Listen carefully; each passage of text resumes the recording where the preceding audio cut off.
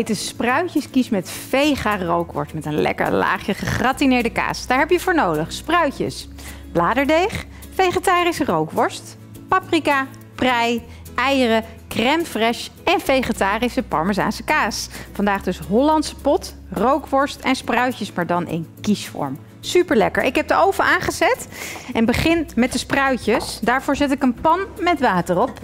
Want die spruitjes gaan we even kort voorkoken. Echt heel kort hoor. Drie minuutjes. Dat is echt meer dan genoeg. Gewoon eventjes blancheren zodat een beetje de eerste rauwheid er vanaf is. Hoeft ook niet een heel groot laagje water te zijn.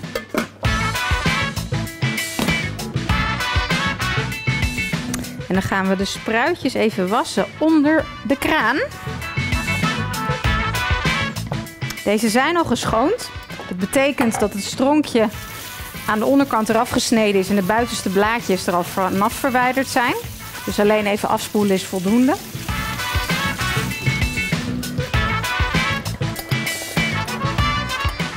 Maar omdat we allemaal de pantoffellucht van spruitjes kennen, want eerlijk is eerlijk, je huis gaat er niet heel lekker van ruiken als je ze te lang kookt. Gaan we ze halveren en heel kort even voorkoken.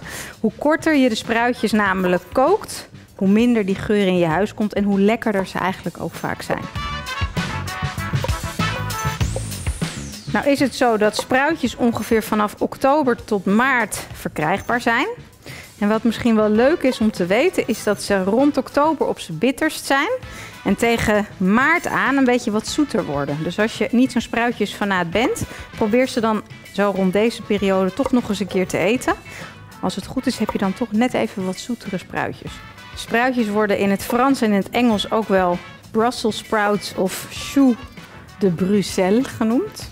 En dat komt omdat ze rondom Brussel heel veel geteeld worden. Komt wel veel uit die regio, hè? Dat is ook al met witlof, Brussels lof. Ja.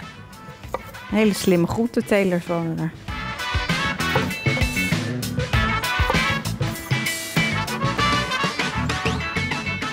Wie het nog nooit gezien heeft, is het ook wel leuk om te weten dat spruitjes aan een hele grote plant groeien. Eigenlijk een soort tak. En in de oksels van die tak, dat klinkt misschien een beetje vies, groeien die mini-kooltjes. Er zijn dus hele mooie, prachtige takken. Het is echt heel tof om dat een keer op te zoeken hoe dat eruit ziet. Eigenlijk zou dat een keer in de studio moeten laten zien. Ja. Want het is echt heel indrukwekkend. Een enorme tak vol met van die kleine mini-kooltjes eraan. En spruitjes zijn ook de ideale wintergroente omdat er ongelooflijk veel vitamine C in zit. Meer dan in sinaasappels. Dus juist in deze periode waarin we allemaal veel verkouden zijn, is het een goed idee om veel spruitjes te eten. Hey, het water kookt precies op het goede moment. Want ik heb er nog eentje te snijden. En dan kunnen ze in het water.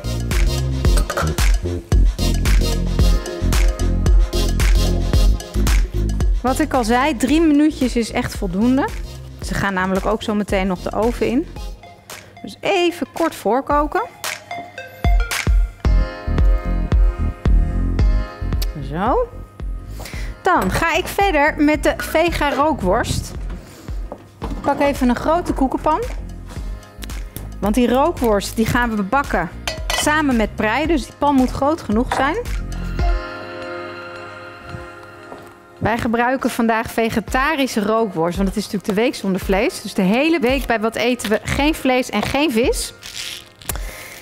En als jij nou thuis een heel leuk vegetarisch recept hebt, deel hem dan even op social media met de hashtag wat eten we erbij. Want ik vind het alleen maar leuk om nog meer inspiratie te krijgen. Papier en plastic mag mooi apart. Ik heb hier de koekenpan vast voor verwarmd. En daar gaat wat olie in. Die mag mooi even warm worden. En ik giet de spruitjes even af. Als het goed is ligt daar nog een zeef. Ja. Want die moesten echt maar heel kort, zoals ik al zei.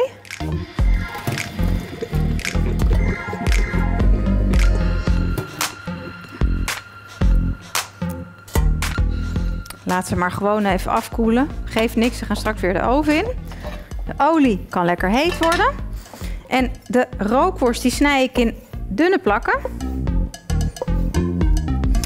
Deze rookworst is gemaakt op basis van soja.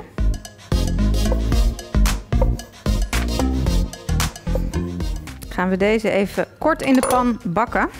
tot hij mooi bruin is.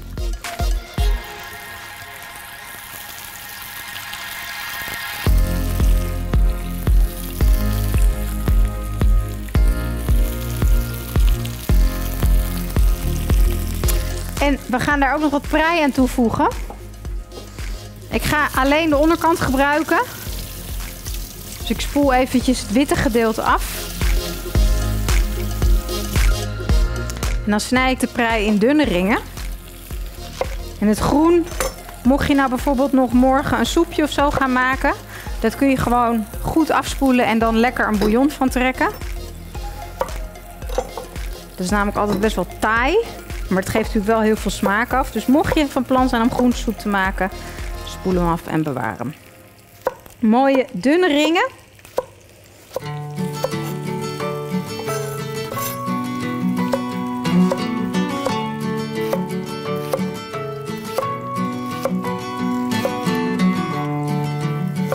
Zo. Even de worst omkeren.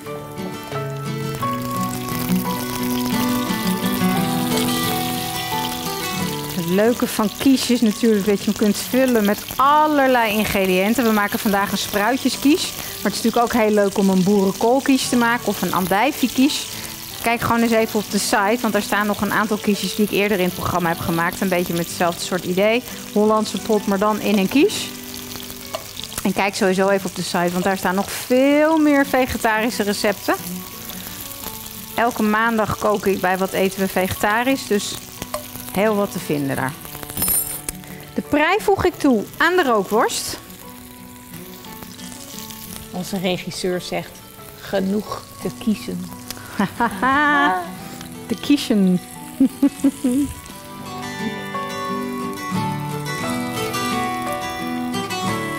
Die prei bak ik kort even mee met de rookworst. Ik ga ook nog wat paprika toevoegen.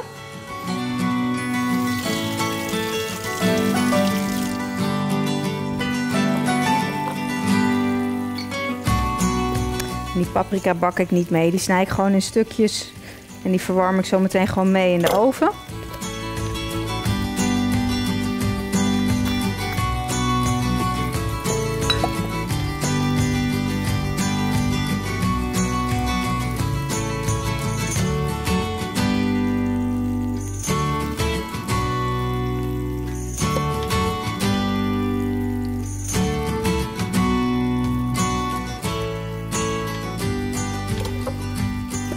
Even een keertje in de pan kijken hoe het gaat. Ja.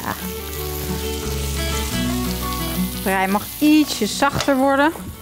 En de paprika snij ik in kleine blokjes.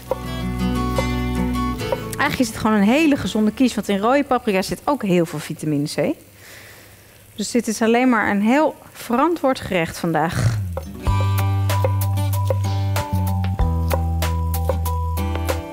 Ja, in de rode zit het meeste vitamine C, Ja. hè? Ten, ten ja de van- rode en de oranje. Oh ja. En de groene eigenlijk het minste. Want dat is eigenlijk een onrijpe paprika. Die eh, paprika plant, daar groeien altijd eerst groene paprika's aan. Eh, en daar, die veranderen dan als ze gaan rijpen van kleur. En dan worden ze of geel of oranje of rood. En dat proef je ook. Als je een groene paprika in je mond stopt, dan proef je ook dat die ja, wat, wat frisser, wat kruidiger van smaak is. En eigenlijk die zoetheid mist die de rode paprika wel heeft. De paprika doe ik even in een bakje. Doe ik even aan de kant. Die hebben we nog niet nodig.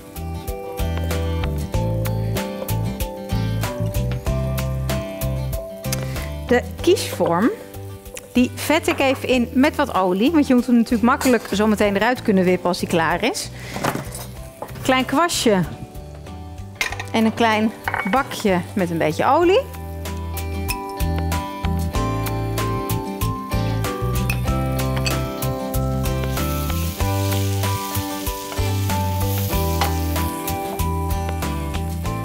Het handige van deze kiesvorm is dat hij een losse bodem heeft. Dat betekent dat je als je hem klaar hebt gemaakt en hij is helemaal afgebakken in de oven, dat je hem er zo uit kunt wippen en op een mooie schaal kunt serveren. Dus als je die kunt vinden, zou ik die zeker in huis halen, want ze zijn heel handig. Ook de randjes altijd goed insmeren. Dan heb ik bladerdeeg.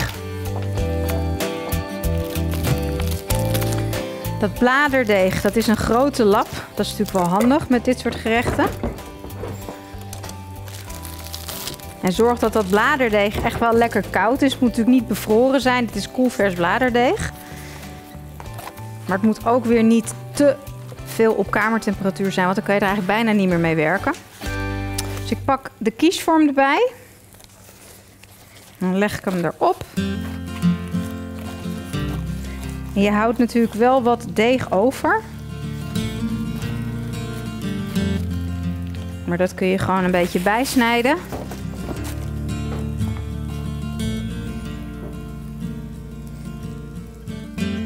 Even een beetje mooi in die randjes duwen.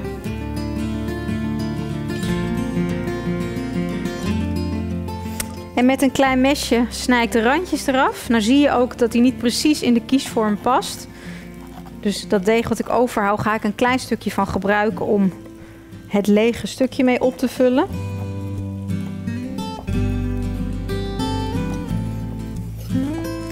En met de rest van het deeg wees creatief. Doe er iets leuks mee. Maak er een plukbroodje van bijvoorbeeld. Ook altijd gezellig. Even kijken, hou ik even een klein randje voor hier.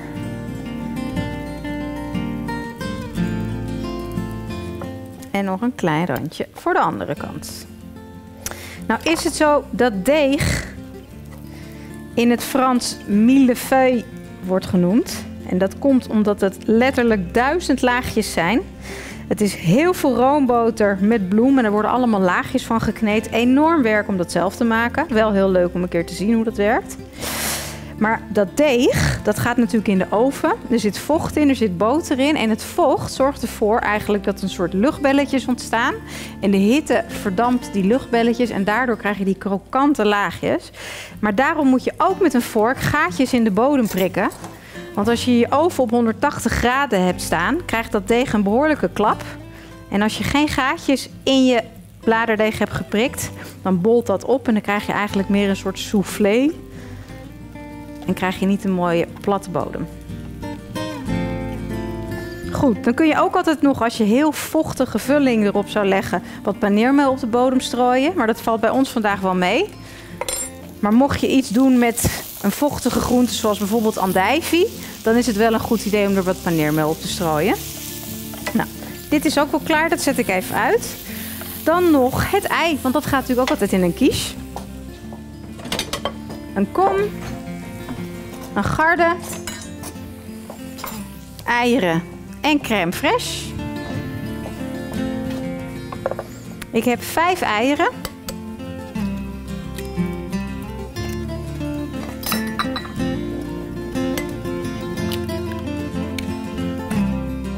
En trouwens, nu kan ik het je even laten zien, wat ook echt best wel vaak gebeurt, is dat er een stukje ijschaal in je ei terechtkomt. Weet je hoe je dat moet doen? Dus niet met je vinger, want dan gaat het alle kanten op.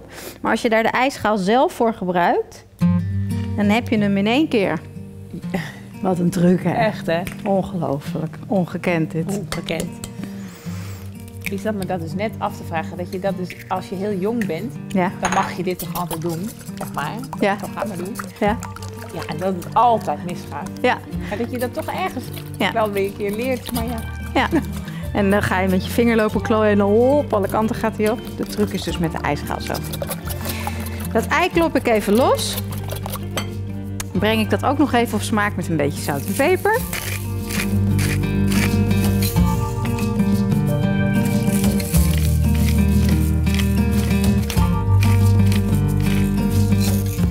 En een lekkere dot crème fraîche.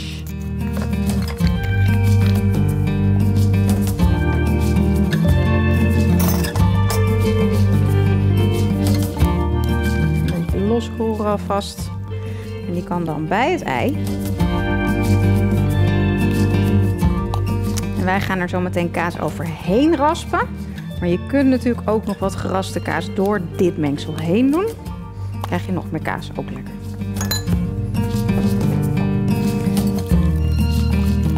Dan klop je dit even los. Het hoeft niet helemaal een gladde massa te zijn hoor, want het gaat vanzelf smelten in de oven. Klein beetje klontjes is niet zo erg.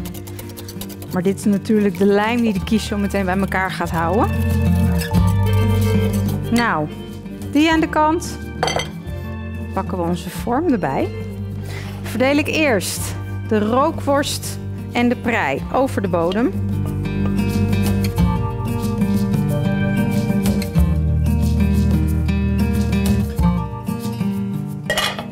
Een beetje eerlijk die worst verdelen. Dan hebben we onze gezellige Brusselse spruitjes.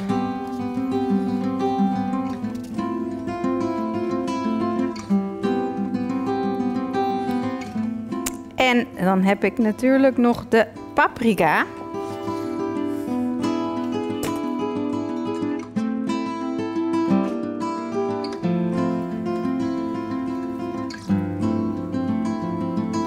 En als laatste giet ik het eimengsel eroverheen.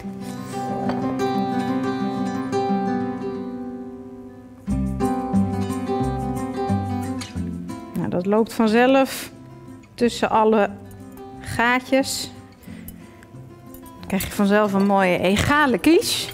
En ik had natuurlijk een laagje gegratineerde kaas beloofd. Dus dat wordt vandaag vegetarische parmezaanse kaas. Nou, wees daar maar lekker royaal in wat mij betreft.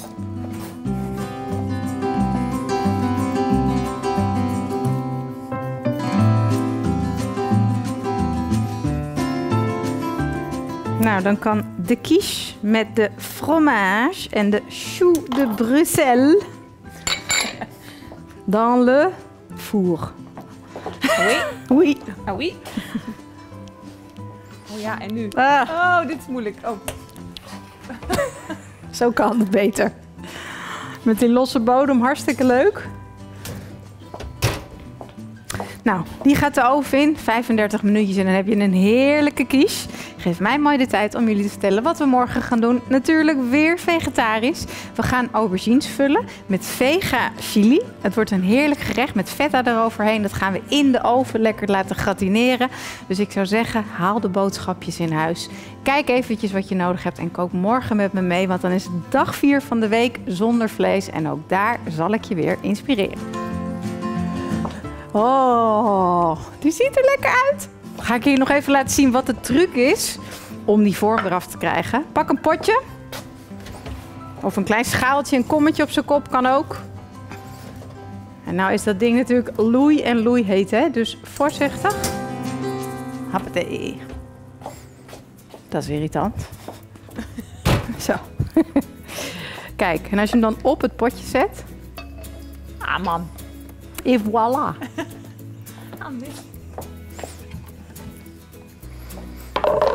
ga hem natuurlijk op een plank serveren, want hij is te mooi om er verder iets mee te doen. Natuurlijk wel heet, dus voorzichtig, voorzichtig, voorzichtig. Schuif ik de quiche op de plank. Ik vind het een feestje. Een vegetarische quiche met prei, met spruitjes, met rookworst, met parmezaanse kaas, met paprika en met een heerlijk fluffy eimengsel. Ik zou zeggen, eet smakelijk.